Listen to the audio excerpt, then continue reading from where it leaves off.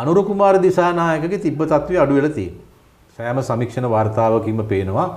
මොකද ඇත්ත වශයෙන්ම මේකේ ගෞරවය යන්නේ ලාල් කාන්ත මහත්මයාට සුනිල් හඳුන්නිති මහත්මයාට හරිනි මහත්මියටත් යම්කිසි ගෞරවයක් යනවා.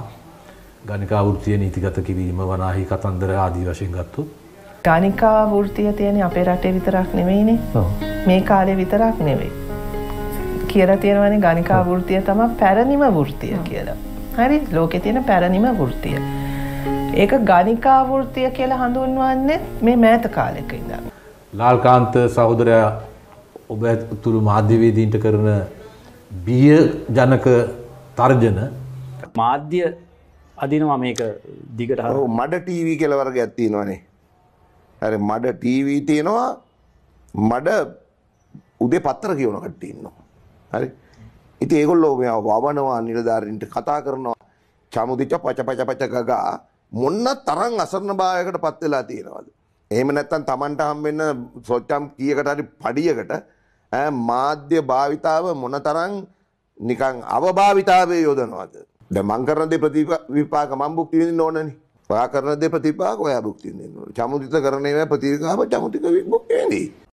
දැන් මේ අපි කතා කරන වෙලාවේ බලේ ඉන්නේ පරදින අය. මේ සමහර ජනමාධ්‍යත් ඒගොල්ලන්ගේ. පරදින්න ඉන්න අයගේ. ඒගොල්ලෝ පරදුවාට පස්සේ හැබැයි මේ සමහර ජනමාධ්‍ය ජනතාවගේ බවට පත් වෙනවා. සමහර ඒවාට මොනවා වෙයිද දන්නේ නැහැ. වහල දායිද වගේ දන්නේ නැහැ. ජනමාධ්‍ය ආයි නොකර ඉඳිද දන්නේ නැහැ. මොකද ඒ තරම් පච කියන්නේ. සමහර ජනමාධ්‍ය. දැන් මෙතන ඔන්න එකක් තියෙනවා. ඒකට කියන්න පුළුවන් මඩ ටීවී කියලා. හරිද? අකුරු දෙකයි.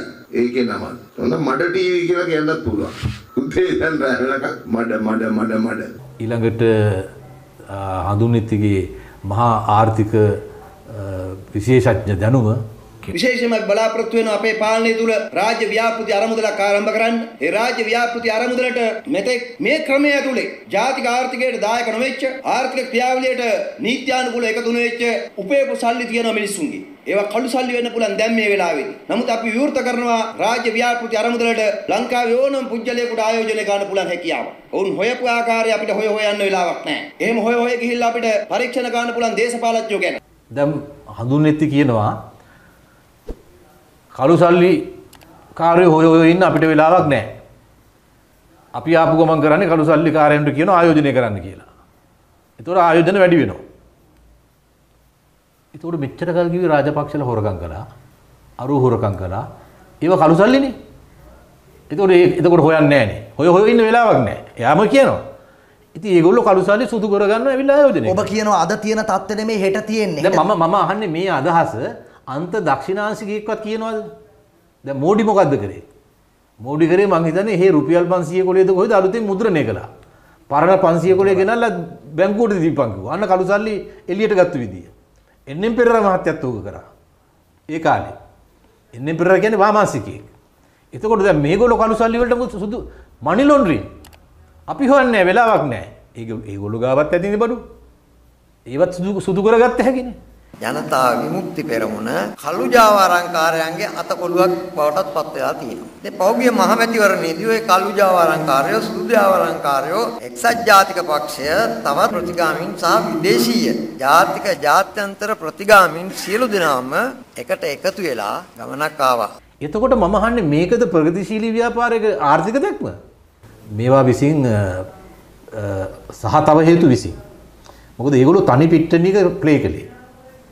මුලදී ග්‍රවුන්ඩ් එකේ හිටියේ ඒගොල්ලෝ විතරයි.